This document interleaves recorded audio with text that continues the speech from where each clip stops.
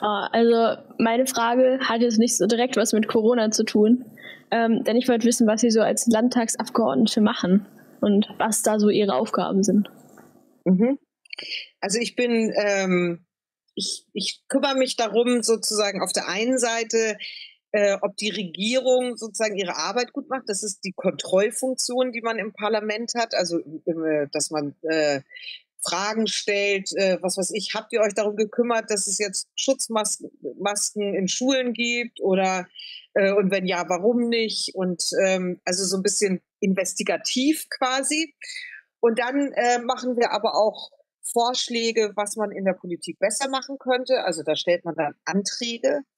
Äh, zum Beispiel, sagen wir mal, ich, ich finde jetzt, bin der Meinung, dass Schule immer erst um neun anfangen sollte, weil alle so müde sind morgens. Und dann würde ich einen Antrag stellen, äh, dass äh, das Schulgesetz geändert wird, dass Schule erst um neun anfangen darf. Und diesen Antrag, den muss ich dann in meiner eigenen Fraktion, das sind alle Grünen sozusagen im Parlament, eine Mehrheit bekommen. Dann muss ich, gibt es gemeinsame Arbeitskreise mit der Koalition, also mit CDU und FDP, mit denen wir zusammenarbeiten.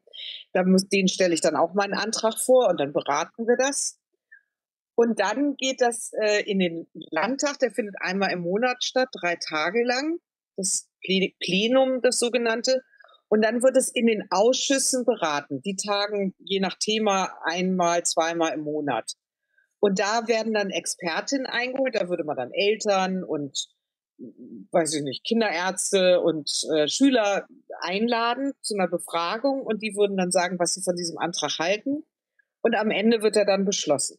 Und das bedeutet, ich habe eben sehr viele Sitzungen, äh, wo ich mich mit anderen Leuten berate und ähm, sehr viel eben auch Sitzungen mit Menschen aus der Bevölkerung, mit Elternvertretern oder mit Unternehmen oder äh, solche Sachen. Und ähm, das ist sozusagen mein Arbeitsalltag. Sitzungen, Gespräche führen und viel lesen. Ich kriege natürlich auch viele Mails von Leuten, die mir schreiben und sagen, warum äh, warum kriege ich kein Geld für eine Photovoltaikanlage?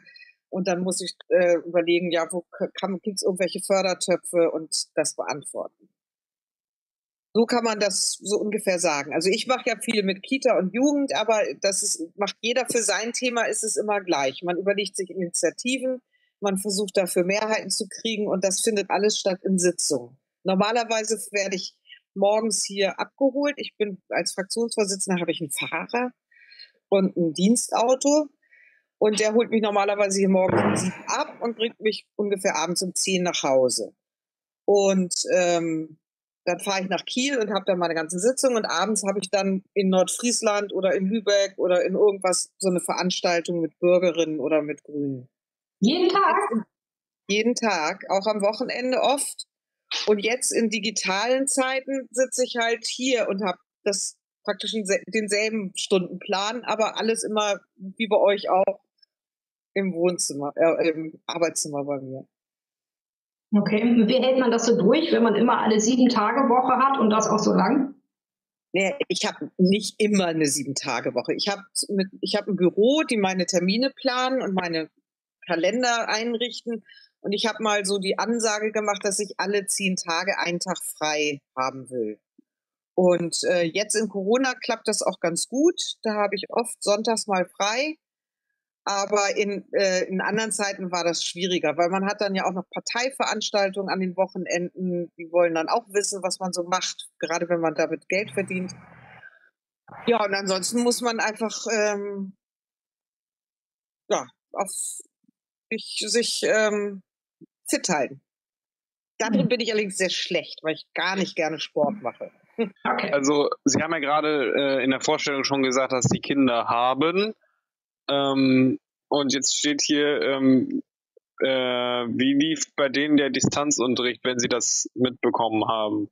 Lief das gut oder eher nicht so gut? Ist irgendwie das äh, ähm, das Lernsystem abgestürzt? Ich habe das irgendwie so in den Nachrichten mitgekriegt und auch bei uns äh, ist der äh, ist das äh, Lernsystem an einigen Tagen manchmal komplett äh, abgestürzt. Ich kann sagen, für meine Kinder, ähm, die eine ähm, ist im Distanzunterricht, die ist ja an, an, in Harburg halt an der Logopädie-Schule.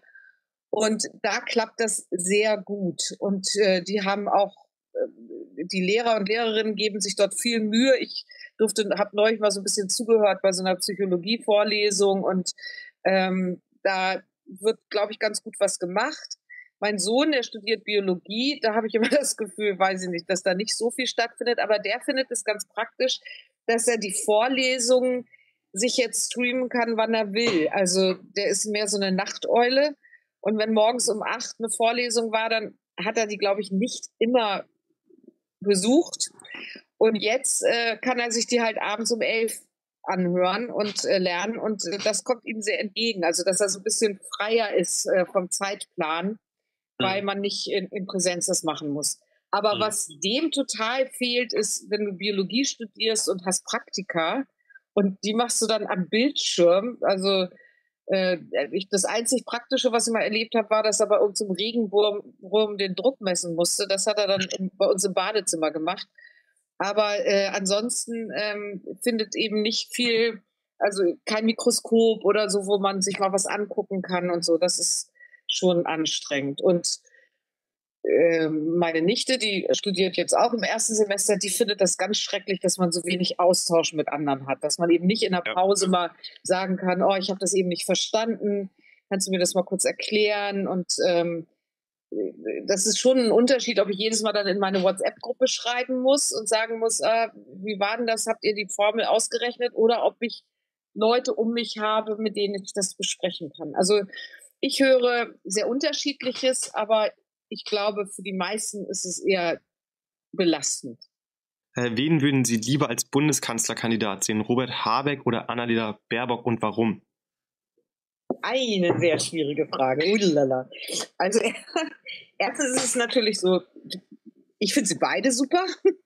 Und am besten wäre es eigentlich, man könnte sie als Team wählen, weil dann äh, würde sich auch die Arbeitsbelastung und die Zeitbelastung auf zwei Schultern äh, verteilen, wenn man überlegt, wenn man das sieht bei Frau Merkel, äh, die kann ja eigentlich gar kein Privatleben mehr haben. Äh, ansonsten ist es so, dass wir ja bei den Grünen wirklich sehr stark uns für Frauen an, an der Spitze aussprechen und deswegen ähm, ist es schon so, dass ich das auch äh, in diesem Falle ganz gut finden würde. Aber mit Robert Habeck bin ich seit vielen Jahren sehr gut befreundet und habe äh, ein persönliches äh, Verhältnis sozusagen und kenne ihn natürlich aus Schleswig-Holstein auch sehr gut. Also insofern, es tut mir echt leid. Ich, das ist jetzt kein politisches Dahergerede oder weil ich mich rausreden will. Ich kann mich echt ganz schwer entscheiden. Tja.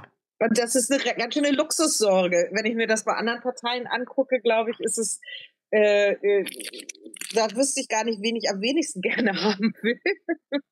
äh, und ähm, ja, ich finde es, ich glaube, ähm, Robert wird mir das verzeihen, aber am Ende wäre ich dann äh, auch wenn die Umfragewerte für Robert Habeck besser sind, ähm, würde ich dann doch meinen, dabei bleiben, dass ich es gut finden würde, wenn wir weiter eine Frau an der Spitze hätten. Beides werden tolle Kandidatinnen sein und ich bin selber gespannt. Ich weiß es auch noch nicht. Ja, meine äh, Frage ist das Thema Nachhaltigkeit. Also es ist ja jetzt äh, tatsächlich so, dass ähm, durch die Corona-Krise vieles, was wir in Sachen Nachhaltigkeit die letzten 20, 30 Jahre, äh, was sich da positiv so langsam, aber sicher entwickelt hat, ist ja jetzt durch die Corona-Situation auch wieder deutlich schlechter geworden. Ähm, ja.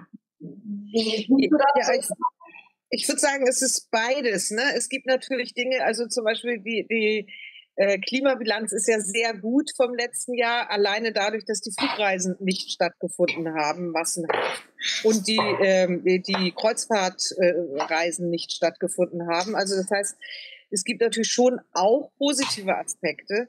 Ich glaube, positiv ist auch, dass die Digitalisierung jetzt einen Schritt vorangebracht hat, weil dadurch wird, wird es auch auf Dauer mehr Menschen geben, die äh, auf Dienstreisen zum Beispiel verzichten und stattdessen lieber sich äh, in Zoom-Konferenzen treffen. Ne? Gerade die Menschen, die, was weiß ich, immer nach USA für ein Wochenende, um dort einen Geschäftstermin zu machen, das ist ja der Wahnsinn. Also ich habe das mal erlebt, ich war mal in äh, Kalifornien auch mit, mit dem Ausschuss, also mit den Abgeordneten. Und da wurde dann eingeladen zur Klimakonferenz in, äh, in San Francisco. Und da habe ich überlegt, boah, wenn jetzt alle anfliegen zu einer Klimakonferenz dahin, das ist natürlich irgendwie auch verrückt vom, vom CO2-Ausstoß. Also insofern, es gibt auch Positives, aber es gibt natürlich auch ganz viel Schlechtes, weil die Leute nicht mehr mit dem ÖPNV fahren, sondern mit dem Auto, weil wir jetzt diese äh, Wegwerfmasken auch noch als Vorgabe haben und nicht mehr die äh, die, die, Waschbahn. die Waschbahn. Ich kann nicht mehr mit meinem Kaffeebecher äh, zum Bäcker gehen, weil also aus Hygienegründen wird jetzt wieder viel mehr mit Wegwerfartikeln äh, umgegangen. Aber ich glaube, das ist nur kurzfristig. Also gerade diese, diese Wegwerfgeschichten, ähm, das, da ist doch so viel mittlerweile bei den Menschen auch drin, ne? dass man ähm, selbst jetzt, also wir haben hier so, so ein Takeaway von, von äh, Italiener, wo wir ab und zu was bestellen. Äh, der hat jetzt auch so eine Verpackung, die ist zwar, äh, also äh, nee, die kann, die können wir hinterher zurückgeben sozusagen und dann kriegen wir da drin dann das nächste Mal wieder geliefert. Also es gibt immer noch, glaube ich, eine große Bereitschaft, darüber nachzudenken. Und ich sehe das eigentlich gerade nicht als den großen Rollback.